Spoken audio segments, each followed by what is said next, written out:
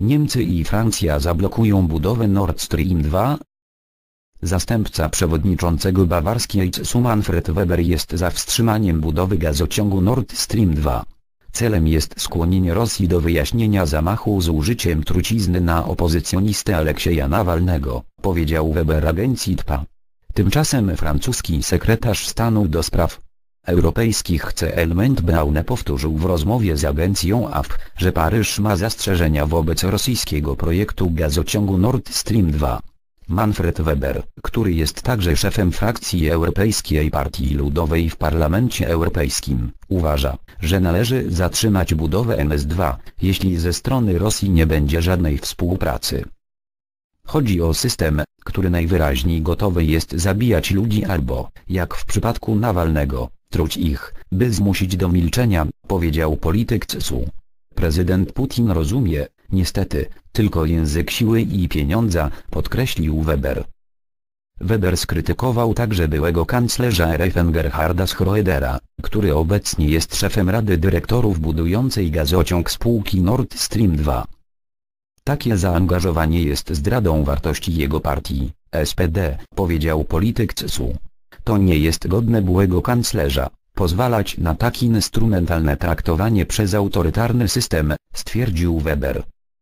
Agencja TPA przypomina, że powściągliwia o możliwości przerwania budowy Nord Stream 2 z powodu sprawy Nawalnego wypowiedział się przewodniczący CSU Markus Soeder. Z naszego punktu widzenia jedno nie ma nic wspólnego z drugim, stwierdził Soeder.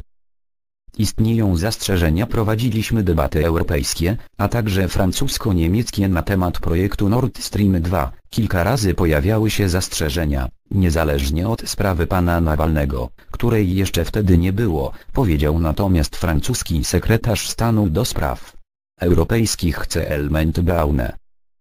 Istnieją zastrzeżenia, jakie mamy, w kwestii uzależnienia energetycznego od Rosji, podkreślił francuski minister. AFP zauważa, że projekt gazociągu Nord Stream 2, już osłabiony problemami ekologicznymi i amerykańskimi sankcjami, stoi w obliczu niepewnej przyszłości po potwierdzonej przez Berlin próbie otrucia Nawalnego.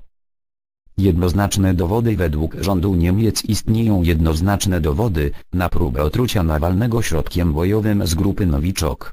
Opozycjonista został hospitalizowany 20 sierpnia w Omsku na Syberii. Poczuł się źle na pokładzie samolotu, lecącego z Tomska do Moskwy i stracił przytomność.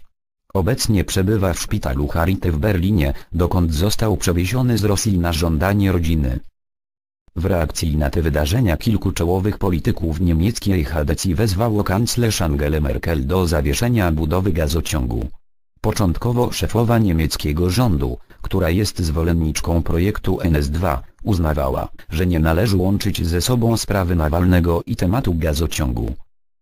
W poniedziałek rzecznik rządu Stefan Seibert oświadczył, że Merkel nie wyklucza objęcia sankcjami NS2 w odpowiedzi na podejrzenia otrucia Nawalnego. W weekend podobne stanowisko wyrazili m.in. Minister Spraw Zagranicznych Heiko Maas i minister obrony Annegret Kramp-Karrenbauer, którzy podkreślili, że władze Rosji muszą pomóc w wyjaśnieniu sprawy Nawalnego.